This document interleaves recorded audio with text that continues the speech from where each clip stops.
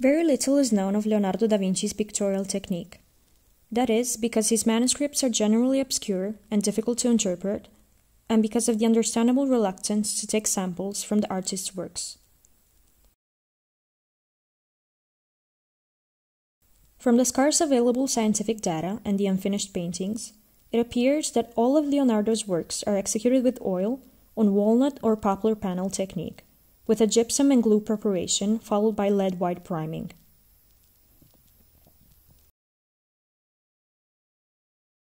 Some of the author's paintings, such as the Adoration of the Magi in the Uffizi or the St. Jerome in the Vatican Museums, in their unfinished state, allow the inspection of the construction stages of Leonardo's work, especially the layers under the primer, and thus allow us to analyze the artist's method.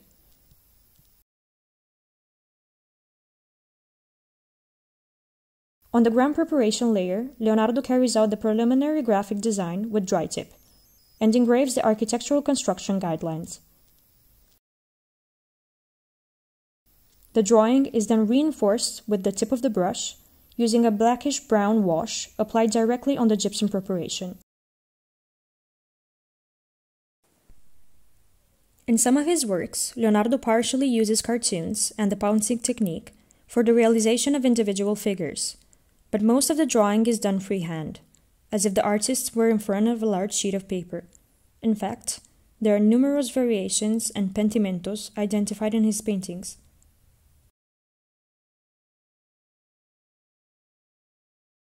In this phase, Leonardo also outlines the draft volumes of the bodies using watercolor.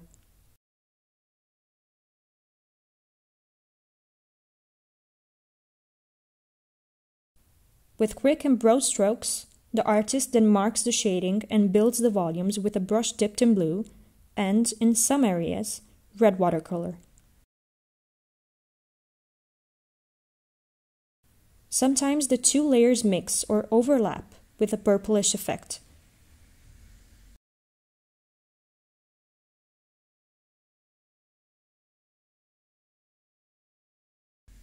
For the red shade, he uses a lake color. The blue one is probably a dye of vegetable origin, perhaps indigo, and not a pigment, given that no chemical elements are found in its composition. The choice of blue color anticipates what Leonardo himself will write in his treatise. Because in the evening, the shadows of bodies cast on a white wall are blue.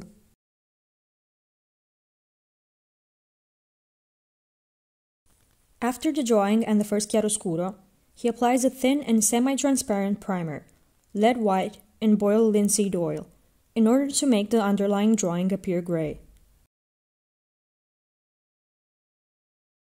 The transparency of this layer allows the artist to continue seeing the drawing and use it as a guide for the next steps.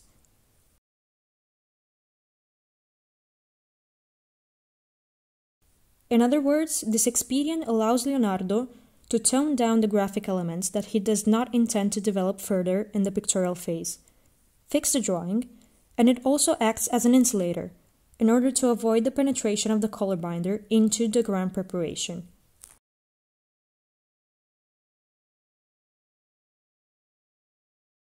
The artist also spreads the primer with his hands, leaving fingerprints in a fresh mixture.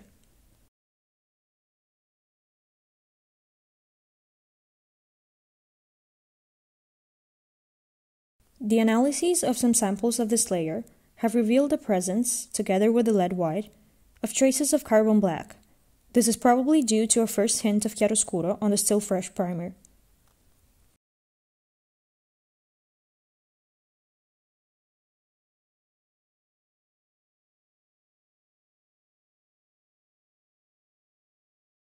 Once the primer layer is dry, Leonardo begins the actual pictorial phase with a general yellow-brownish application, modeled and modulated with the addition of warmer shades depending on the functionality to define the reliefs, areas, and figures. This underpainting, which functions as a half tone for the modeling of the flesh tones and to trace the shadows, is painted with brune brown colors often mixed with green pigments.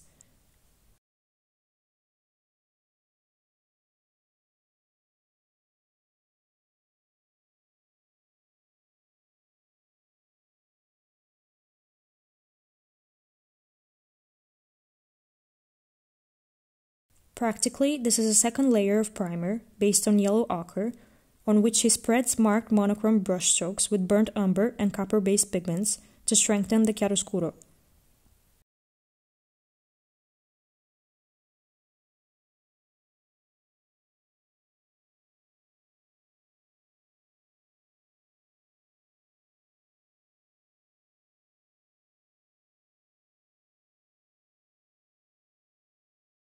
In a large part of the composition, the pigments appear to have been spread with the fingers in order to soften the clear contours of the figures.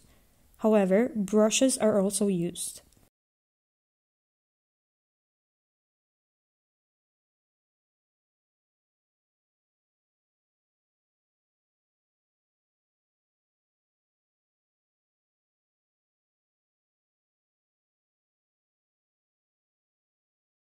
While this layer is still fresh, in some areas of utmost lightness, Leonardo also begins to apply white brushstrokes in order to define some reliefs of the modeling.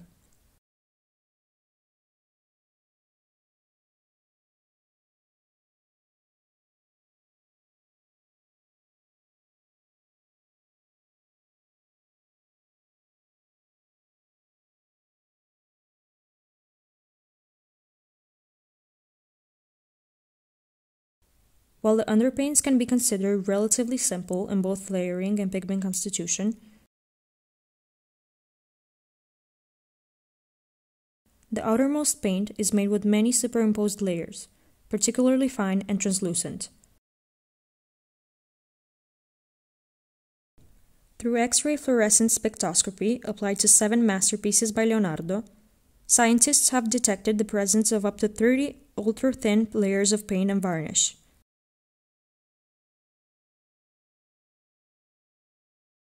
Such glazes were used in Flemish painting to clearly delimit the contours of the forms, while Leonardo, on the other hand, used them to blur the silhouettes of objects and figures from the foreground to the background.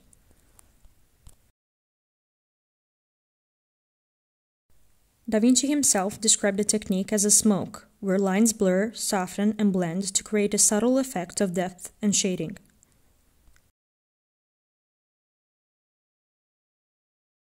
This refined overlapping of ultra-thin layers is called sfumato in Leonardo's painting.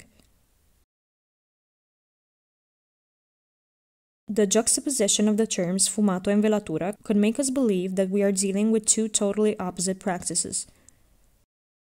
But the sfumato is exactly the stratification of transparent and semi-transparent layers of color, meaning glazing, which, precisely because of its overlapping nature, progressively loses contact with the drawing underneath.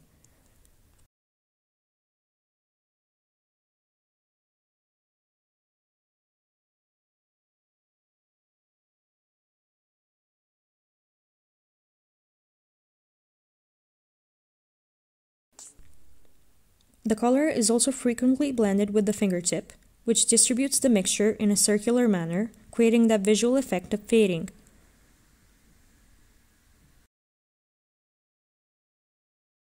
Furthermore, both the practices of rubbing and dabbing the color are attested.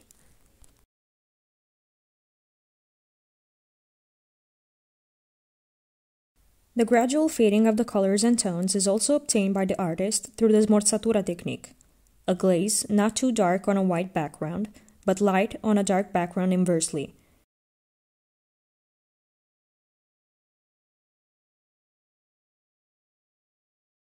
And with the dry brush technique, carried out by spreading, or rather rubbing, some color pouring binder on the dry underlying paint using a hard and short brush. These are intermediate processes between the traditional glazing and the use of an opaque film in a free and complex layering of translucent and opaque glazes.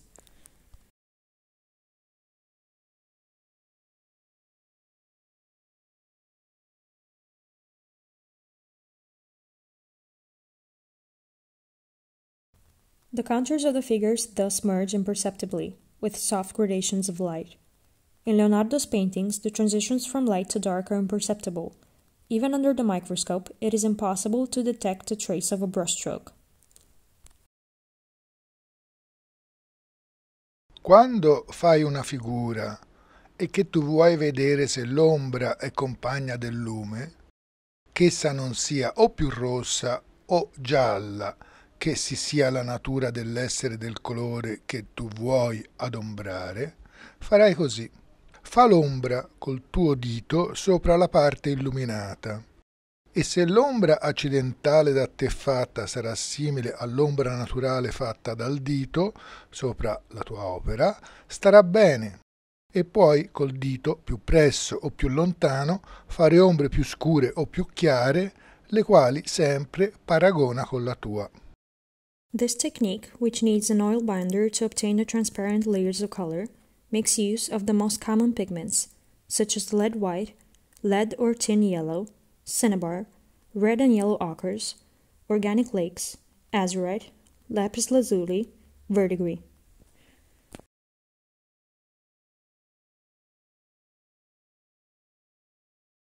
Disegna e dà le incarnazioni con pennelli di setole.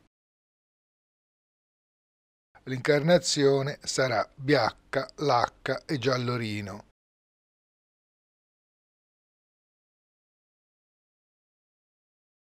E così fresca farai l'ombra sfumata a tuo modo.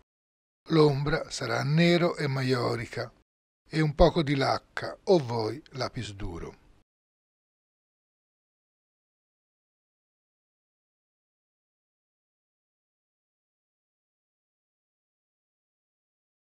Recent investigations attest that the flesh tones show the use, in addition to the colors mentioned in the treaty, of cinnabar and yellow ochre, to which, in the shadows, earth umbered is added.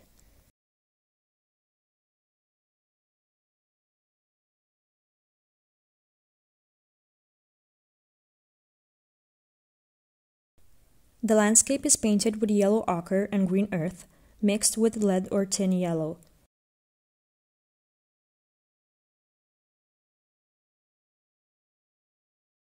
While the sky is made with a first layer of lead white and azurite, and then completed with ultramarine applied as a glaze.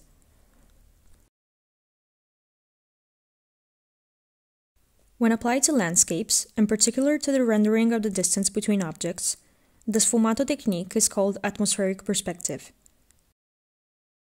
Atmospheric perspective is a method of representing space that studies the variations of light intensity and tone gradations in relation to distance.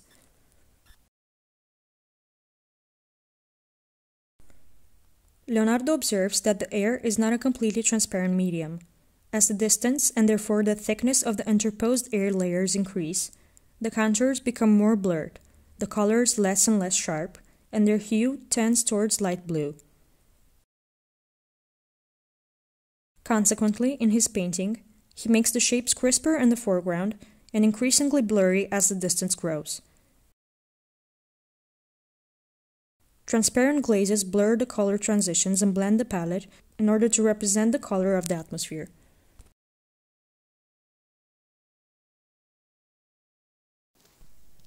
Leonardo's treatise on painting does not provide us with much information on a more or less particular use of binders and varnishes. It recommends the use of walnut oil thickened under sunlight or mixed with resin, and gives detailed indications for its correct preparation.